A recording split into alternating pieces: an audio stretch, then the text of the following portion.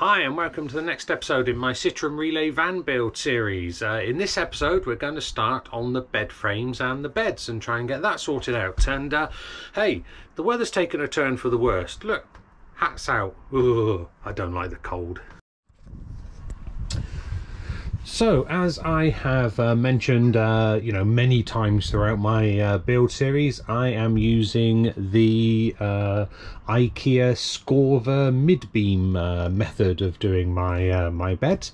So I've got all three top ones in now, as you can see, and they're not actually fixed yet, but you know, just offered into place and for the top bunk in order to uh, keep the height down as, uh, as, as low as possible without a dirty grey big fat bed frame under, underneath here I'm just going for these uh, bed slats that, uh, that come from uh, from Ikea. I've just lobbed the end one off of the pack just for my uh, sort of test piece. And my measurements luckily have worked out quite well because that sits nicely sort of halfway across the beam uh, there. Not over the sticky label you idiot. But there we go. That fits nicely there to the to the middle. And then this one uh, from the middle there comes across and uh, will fit like that. And uh, yeah I got a bit of an overhang there uh, because of course this uh, this end beam that's as close as I could get it to the end of the van because the end of the van sort of pokes in uh, slightly. So something that needs a 90 degree uh, you know square um, end to it. And this curve um, was was never going to work. So that's as close as I could get. So I need to do something to uh, strengthen uh, strengthen this end here um, on this overhang. You know nothing we haven't uh, nothing we haven't tackled before in this uh, van build series. I'm not quite sure what I'm going to do yet but it will be all right. I'm sure we'll come up with some ingenious method and uh, when the doors are shut let me just grab that one. Oh Christ. When the doors are shut that comes to uh, to there with uh, about an inch or so uh, clearance uh, which is pretty well bang on my sort of measurements really. So that's worked out perfectly. So happy with that. Just need to uh, figure out what to do with this end here just to kind of strengthen it up a bit might put some brackets under here and, uh, and a piece of timber here and make up like a little frame or something. Don't know. We'll uh, we'll work on that as we go along. So anyway that's uh, the, the top ones uh, top ones in. Um, haven't put the bottom ones in yet because I need to get in there to be able to work. So I'm going to concentrate on the top one first and then do this one uh, afterwards. So let me go round to the uh, the workbench or glass top old uh, garden table for uh, in actual fact look and the glass is still in one piece. Amazing. So there's my first set of um, of slats and uh, I've already pre-marked and measured those and I've just run a pencil line along here to uh, uh, to know where to cut drill my holes because what I'm going to I'm going to actually screw these down into the um, into those mid beams um, yes it's going to lose a little bit of its uh, spring because they're not going to be able to move particularly but because we're using a you know a reasonably thick mattress on there I don't think that's the end of the world. So in my drill I have prepped up my hole cutter and uh, counter sinker kind of all in one job there. So nothing else for it but to uh, drill these holes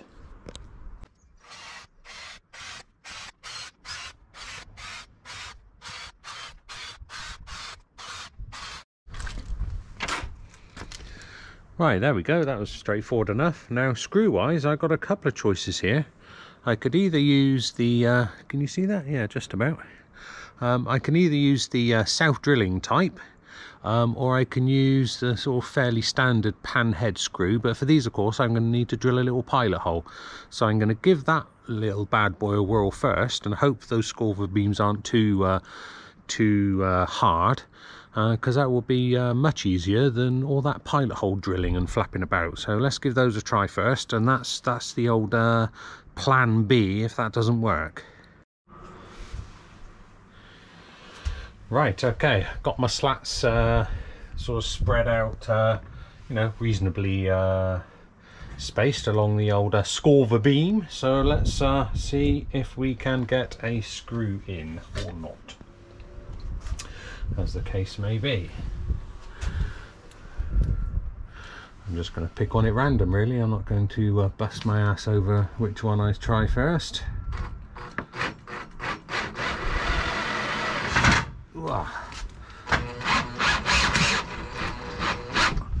Oh yeah.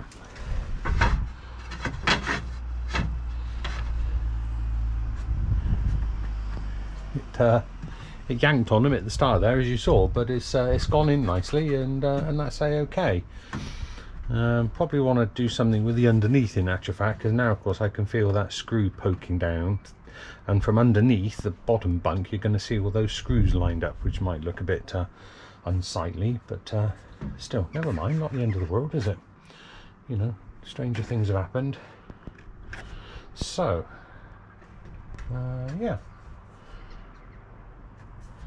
let me uh, carry on along and uh, get the rest of these uh, screwed in and then uh, we'll come back to you.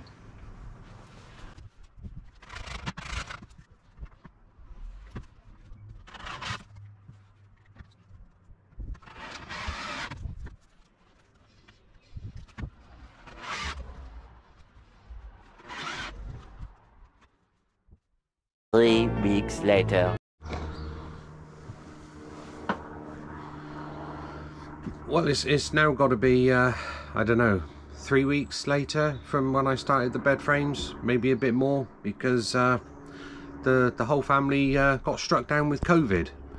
Um, I got it first and then uh, you know Julie then uh, passed it on to, uh, to, to both kids and wifey is looking a bit pasty at the moment as well so so we're all going through the ringer a little bit so uh, there's been a bit of a delay on the bed frames, as you as you'll appreciate. Uh, but uh, you know things are slowly returning to normal again, so it's time to uh, continue on. So I thought rather than start a new video, we'll just uh, pick up from uh, from where I was on the on you know I don't even know what I'm saying now from from earlier on, for, which for me was three weeks ago, which for you was literally like 30 seconds ago. I, I appreciate that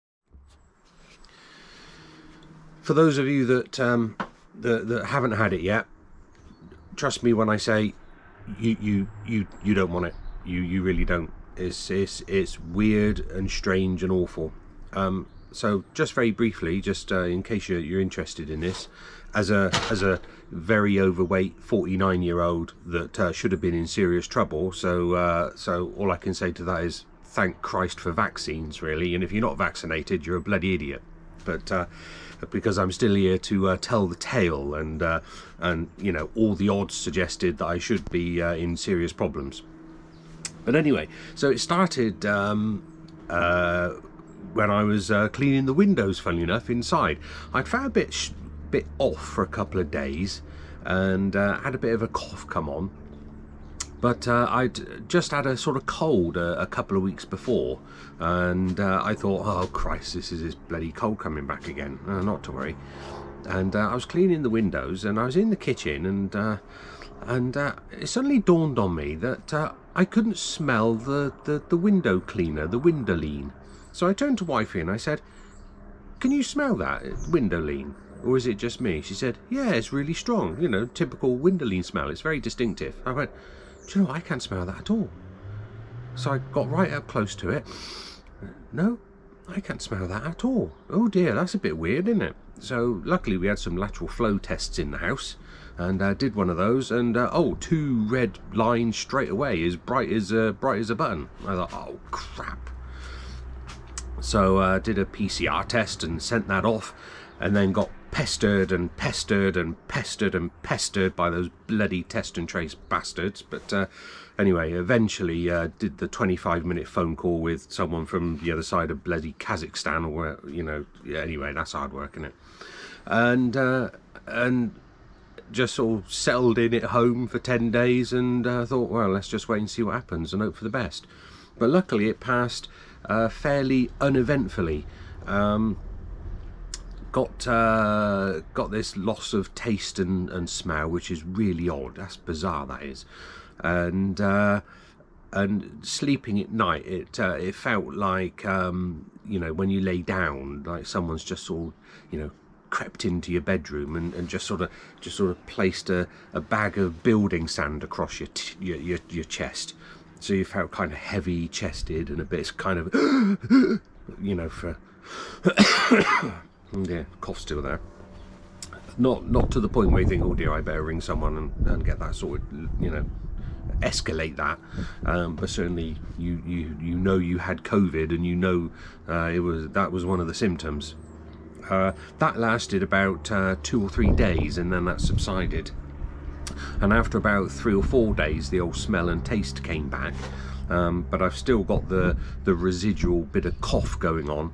And uh, still some three weeks later just feeling tired and worn out and lack of energy to do anything really. And uh, even just you know going up the stairs. I mean yes i know i'm a 49 year old fat bloke and going up the stairs kind of puffs you out anyway. Uh, but this is kind of you know supercharged being puffed out. You get to the top of the stairs because we got a three story house. So going right to the top on the third story for a pair of socks or something by the time you get up there you're thinking whoa bloody blimey you know that sort of feeling. But uh, hopefully that will uh, improve over time. Um, I don't know whether this affects lots of people that have had COVID or whether this is just me. It, it might just be me. I don't know. But um, the one bit of help and advice and support that the NHS don't seem to offer is one bit that I think perhaps they should offer or should think about and that's this. You're told by uh, test and trace that you have to self-isolate for 10 days not go out not leave the house not do anything blah blah blah blah. We, we you know we've heard all that before. We know what that's all about. And you duly decide yeah okay I'll, I'll do that. That's fine. But thoughts come into your mind while you're doing that and you think someone gave this to me. Someone out there I don't know. I was the first in the family, so I can't blame it on a family member. Although the kids, you know, clearly got it from me, so we, you know, we can trace that very easily.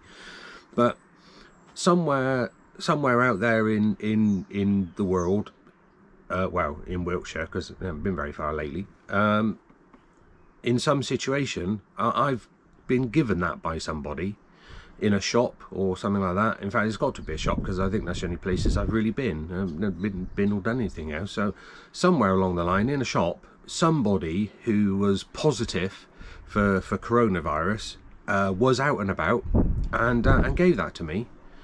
So you think to yourself, hang on a minute, why am I busting my ass isolating for 10 days when others don't seem to give a shit, clearly? Um, and those are sort of dark thoughts that go through your mind uh, where you sat at home feeling like crap because someone's passed it on to you. That's something I think NHS ought to think a little bit about because that I think is probably the best course of action to stop the spreading above anything is to uh, is to make people want to uh, to stay at home. Uh, not not tell them they have to because people don't listen to that crap. They're not interested. I mean take the number 10 pies. I mean who's going to listen to anything now after after all that? Um, but I think they need to look at making people want to stay at home and not infect others. Um, that's the biggest hurdle, and that's what they need to think about. Uh, but anyway, enough uh, about that. Um, I'm still here, and uh, it's time to crack on with the bed frames again. So uh, let's go around the, the back of the van and uh, have a look see. Right, so here's the top one again. Um, oh, incidentally, it's a bit windy today, so if you get that on on the camera, I do apologise. But on these GoPros, I think there's absolutely bugger all you can do with that. Um, but uh, I'll try to shield it as best I can. So uh, on the uh, on the, the the previous bit of footage before my my COVID rant, uh, you saw me uh, screwing in a, a, screw over here uh, to fix um, fix those down. If I get a bit closer, you can now see that I've been all the way along and fixed those in.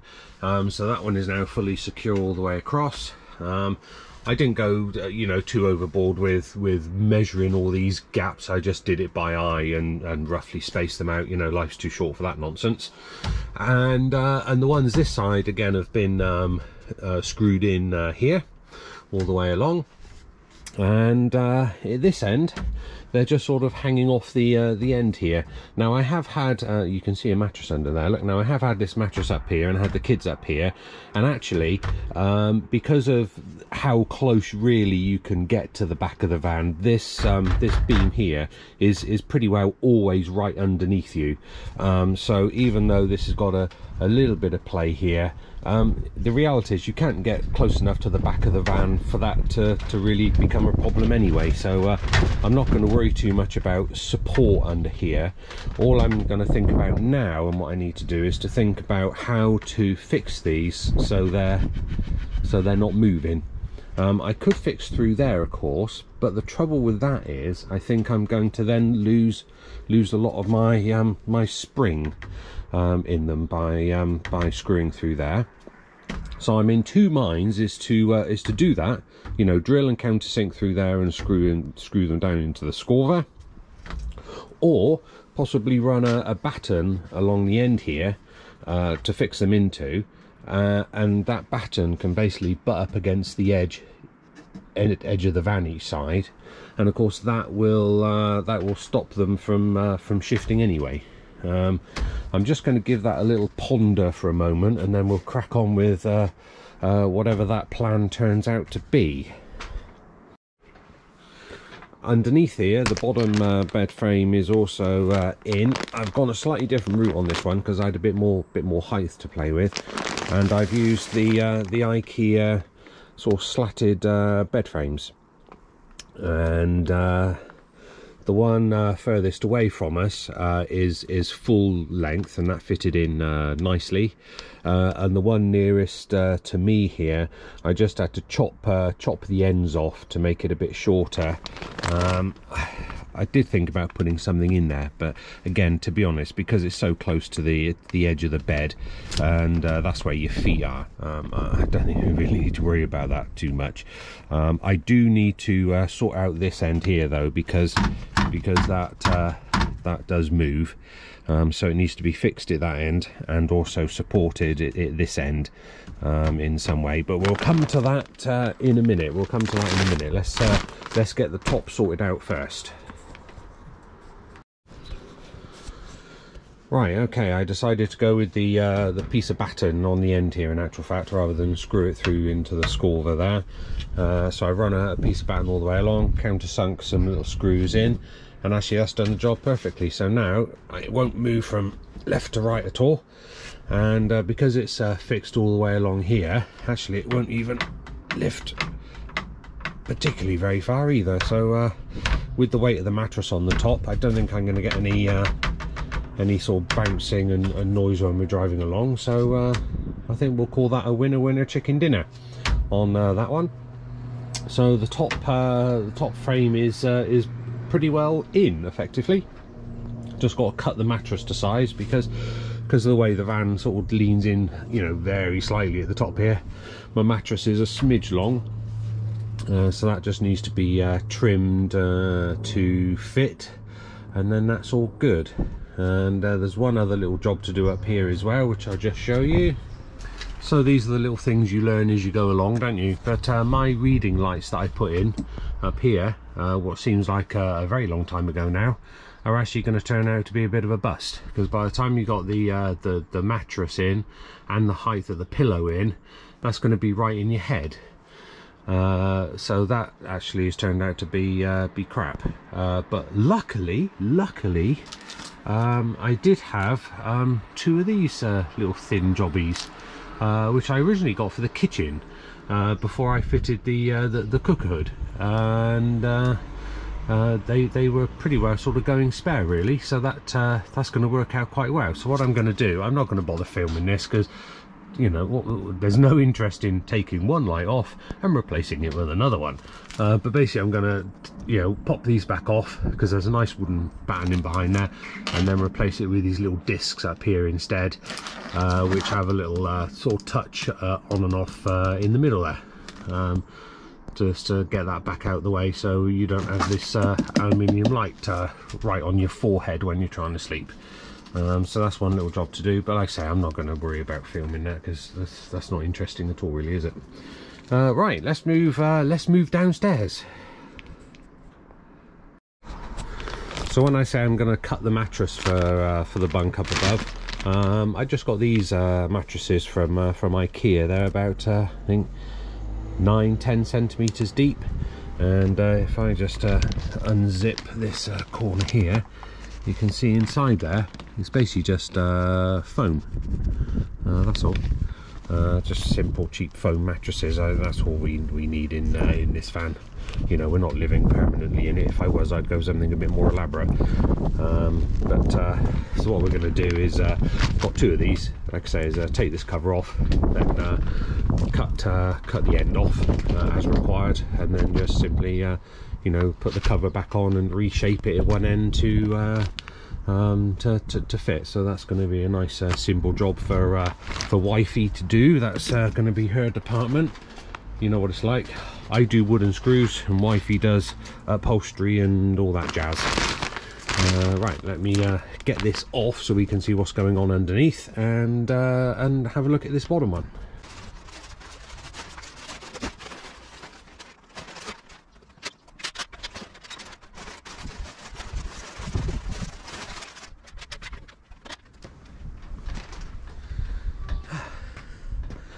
That's obviously not going to permanently stay like that, it's just up out of the way. Right, so like I said, down here I've gone with a different uh, different setup uh, because I had a bit more uh, bit more height to play with. Uh, so for a bit more comfort on the bottom bunk here, we've gone for these IKEA bed uh, sort of slat uh, setups here, which are a bit more a bit more springy in in the middle there. Um, so the one at that end I haven't had to uh, tinker with. That just fitted in there just nicely as it uh, as it came. Uh, this one I've had to chop uh, one slat off and, uh, and, and shorten it. Um, so I've uh, sort of re re-drilled and fit screwed it here by lobbing lobbing the end off hence the green marker paint you can see there. Um, so that's all working well. The only thing I need to do is uh, support this end here because uh, at the moment when you lay on that basically you're laying on uh, on one two and there's one at that end three of these little thin bits of uh, bits of wood under here because that's the only thing that's touching the Skorva. So that's uh, that's no good and also it's got a tendency to to want to tip look. So uh, I'm going to I think put uh, a piece of timber in this end uh, straight down in that corner to the floor to support the weight there. And uh, the same with that end from from up end there straight down in that corner to the floor to support the weight there.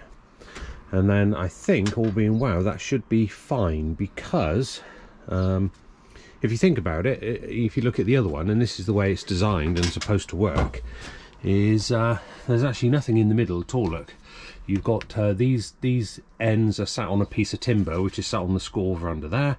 And the same with that end you've got a long piece of timber running along which is sat on the on the Skorva so if you support that bit of timber that effectively is is job done. So I'm going to support it there support it there and then we should be all right.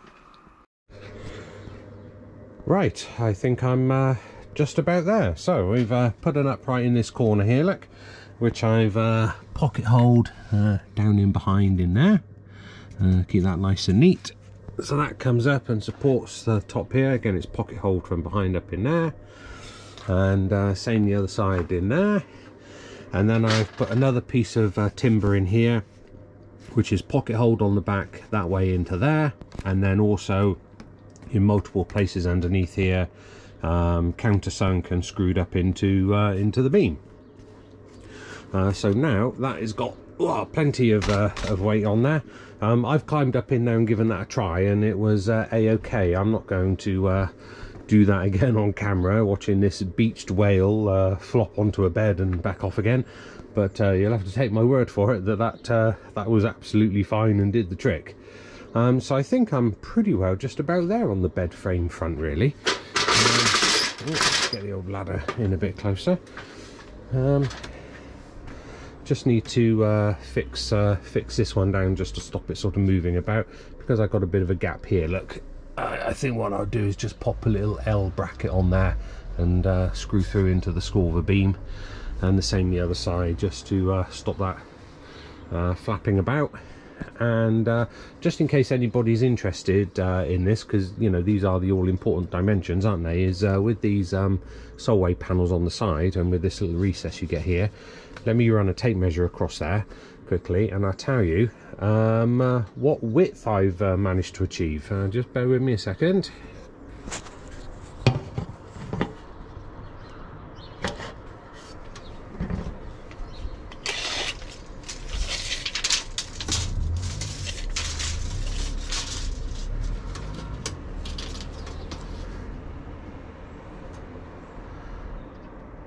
Okay, so allowing for the height of a mattress of where you're actually going to be laying, I have uh, 188 centimeters.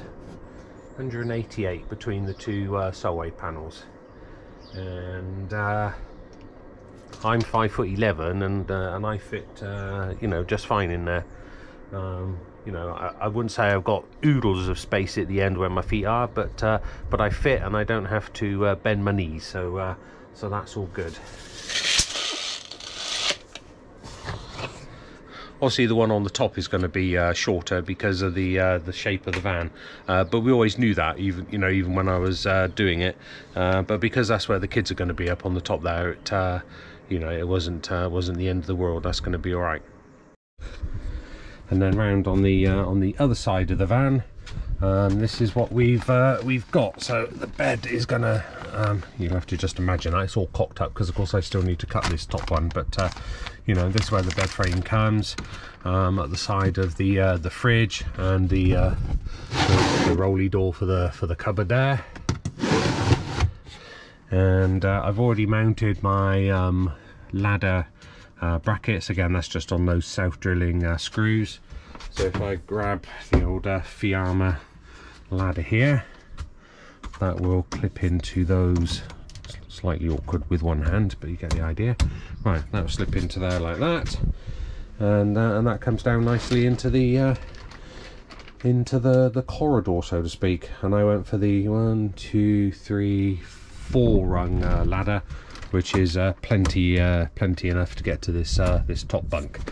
And then the idea is when uh, when we're not needing it is that will lift off and uh, I'm just going to put it in the toilet for now out of the way because like I say it's awkward one-handed. But that will then of course go in my little uh, in my little cupboardy in there. Um, out of the way. Oh still need to get the old latch for that don't I? But you know all little finishing jobs, isn't it? So there we go, that's how I've done my bed frames. Uh, good, bad, indifferent, I don't know, but uh, that's what I've decided to go for. I suppose it's a bit of a cheat really, using the IKEA Skorva beams and IKEA bed slats and all the rest of it. Um, but uh, you know, it's it's it's inexpensive and it does the trick and it works. So uh, you know, it's all good at the end of the day. So I think we'll wrap up that video there. Thanks for watching. Please remember to like and subscribe. Blah blah blah blah, and uh, I'll see you next time. Bye for now.